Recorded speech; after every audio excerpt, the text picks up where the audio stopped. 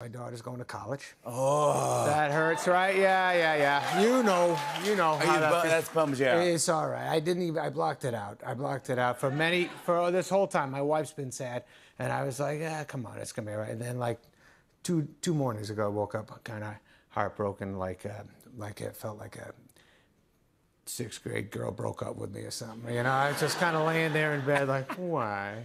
oh my God. What did I do? But Yeah. Anyways, yeah. Does no, it take you back to your college days? Buddy, my college days, I, I, my daughter's going to do great. I'm so proud of her, and I love her, and I wish her nothing but luck, and, and I know she's going to have a great time, and I'm, I'm happy for her.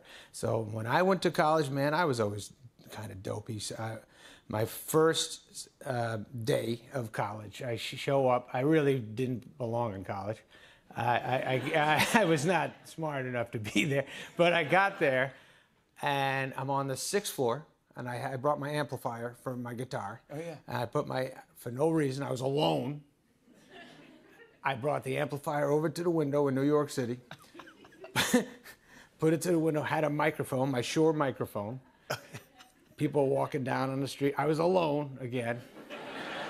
And I was going, You, bring me a hamburger. and I, I was alone, and people walking by, and like, I go, This is the Lord.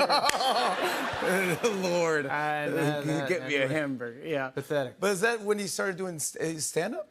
I started stand up in high school last year. How about you? You were like 15 or something. That was the same thing. It's like 17. Yeah. 17. Yeah, Yeah, high school. But high school, that was senior year. Yes, I did it one time then. Then I went to college in New York, and then I started going on in the village everywhere. Where'd you go on? Do I know? I, I did a place called The Dive one time.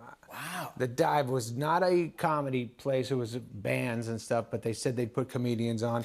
And then I, I in was those rooms, too. Right, right. Oh, yeah, yeah. And the only reason they booked us or booked me back then, I wasn't good, but I you know, a bunch of college kids from my college would come watch me. They'd pay the cover, ch- the two dollar cover charge and stuff. So they would ha- they would book me, and I'd go up there and I would do five ten minutes of stuff, and then after I'd see my friends, and they were like, "You wanted us to see that?" and I'd be like, "I don't know, I don't know why, did but yeah.